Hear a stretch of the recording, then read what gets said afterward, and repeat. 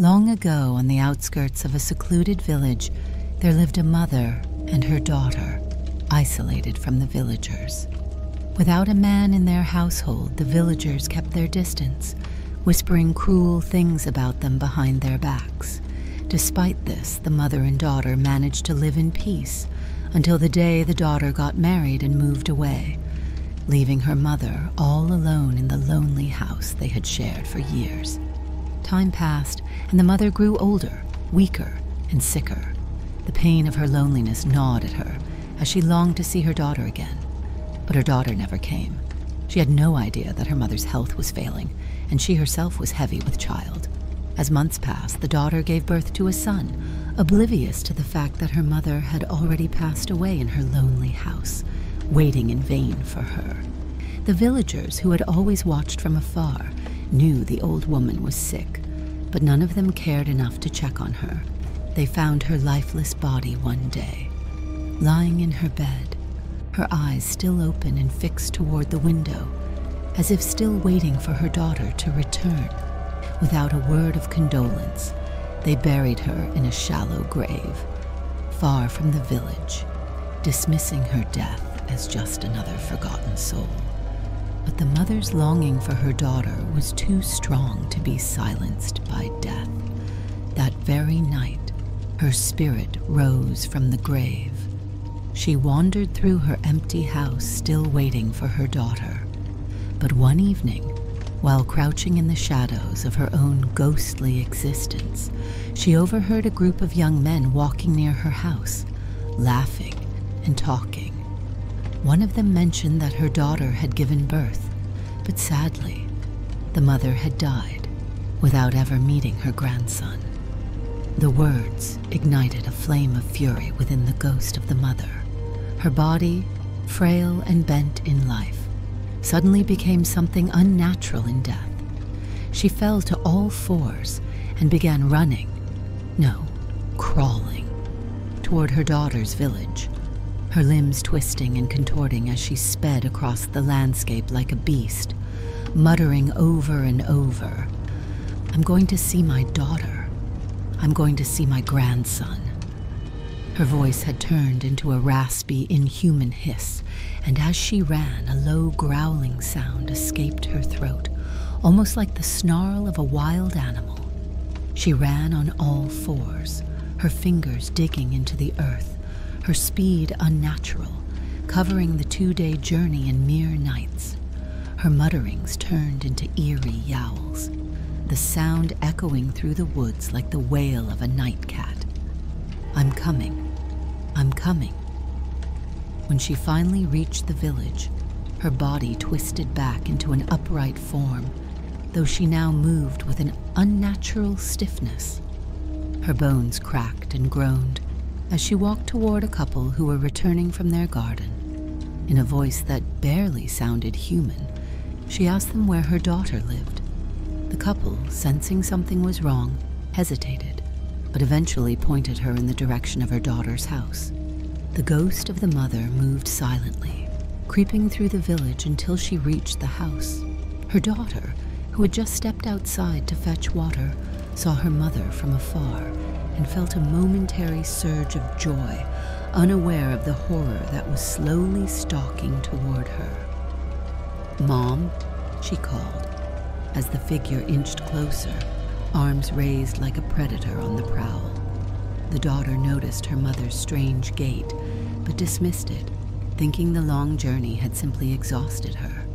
They embraced, though the daughter recoiled slightly at the strange, rotting smell that clung to her mother. What's that smell, Mom? she asked. Oh, it's just me, the mother replied, her voice unsettlingly calm.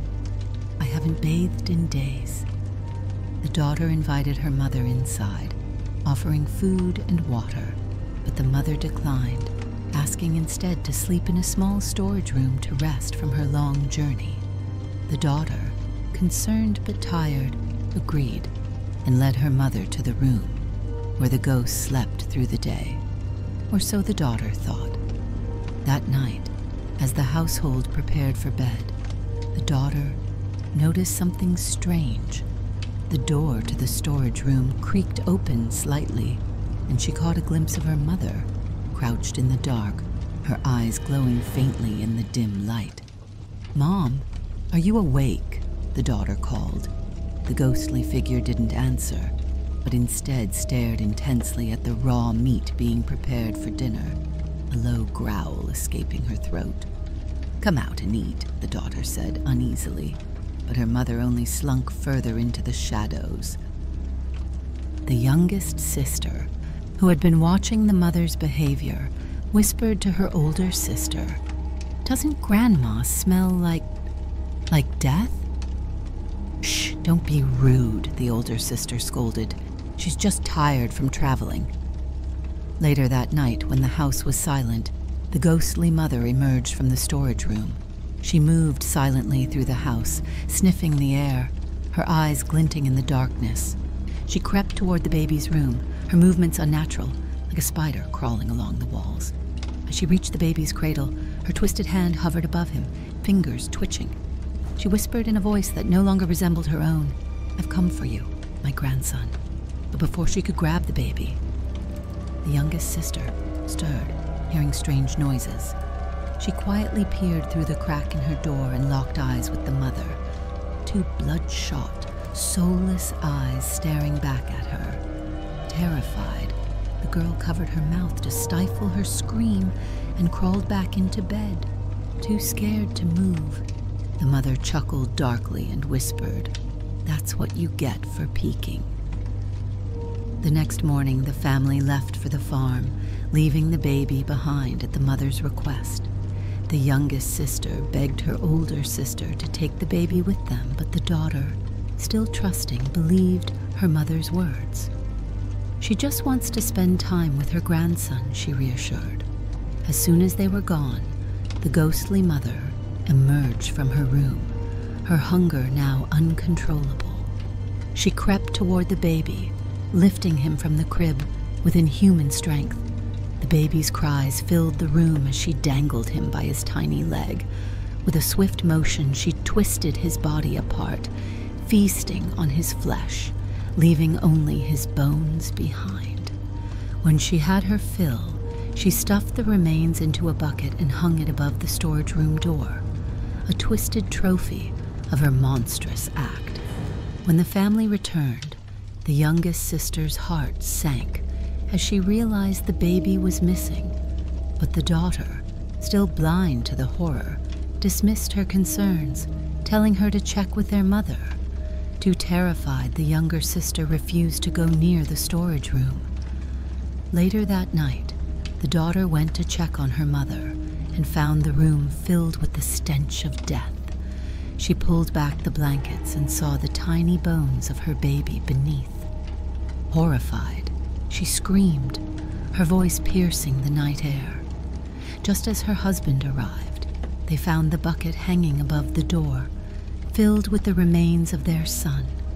The mother's ghost appeared then, her bloodshot eyes glaring at them from the attic. You don't love your mother anymore.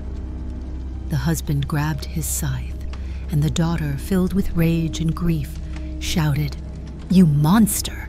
You killed my baby! The ghost howled in anger, leaping from wall to wall, ceiling to floor, avoiding their blows with unnatural speed. As they attacked, she shrieked, I am your mother! How dare you strike me? The husband managed to wound her, driving her from the house. She ran into the middle of the street, crouching like a beast, howling at the moon. You don't love your mother anymore. I'm taking my grandson with me, and you will never see us again.